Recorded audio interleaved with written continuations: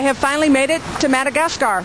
I arrived three days ago in the capital city of Antananarivo, and yesterday morning at about 6.30 in the morning, we started driving to the village of Mahabu, which is where our weavers here are located.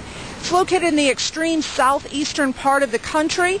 We drove about 12 hours yesterday over some extremely difficult roads, and this is the scene that I got to wake up to this morning. It is absolutely gorgeous. We have about four more or five hours ahead of us today on some pretty tough roads, and then we will finally reach the village where, as I understand it, the weavers are anxiously awaiting our arrival because today is payday, and we will be able to hand out a very significant amount of prosperity wages today.